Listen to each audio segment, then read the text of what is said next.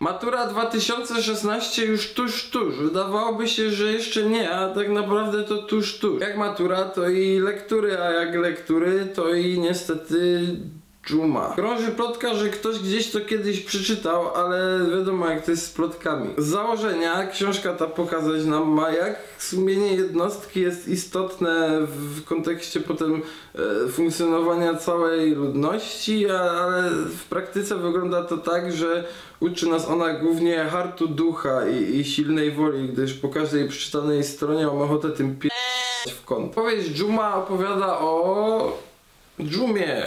Jest to miasto we Francji i nagle zaczynają w nim zdychać szczury. To wszędzie, na ulicach, w sklepach, w galanteriach, w lodówkach, czapkach, w kieszeniach, wszędzie martwe szczury. Potem choroba zaczyna się przenosić na ludzi i ludzie mówią, o to dżuma. Miasto zostaje zamknięte, wszyscy początkowo próbują udawać, że jest spoko, tam normalnie żyją, ale trwa to dość krótko, bo panika narasta z każdym dniem. Głównym bohaterem, a zarazem narratorem tej powieści jest lekarz, który tych wszystkich ludzi luczy, y, ludzi leczy, stara się wyleczyć. Największym zaś sch...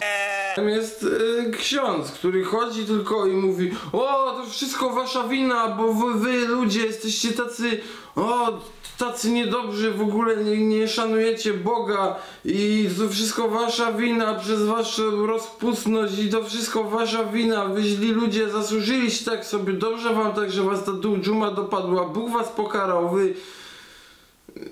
Kończy się tak, że ksiądz sam umiera na dżumę. Nasz lekarz dzielnie leczy i leczy. I leczy, i leczy, i leczy, i leczy.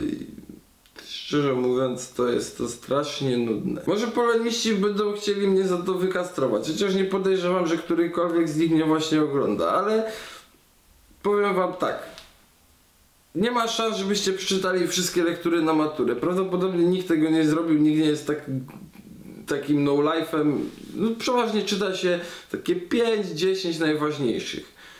Jeśli macie jakieś odrzucić, to dżumę odrzućcie na pewno, gdyż jeśli ją przeczytacie, to może ona wywołać y, niechęć do, do czytania kolejnych, a niektóre są naprawdę w porządku, tak więc dżuma, jakieś tam streszczonko, bryk, KLP, coś te klimaty. Morał jest taki, że nie każda cienka lektura to błogosławieństwo, już czasem lepiej przeczytać potop albo krzyżaku. Do zobaczenia farfocle.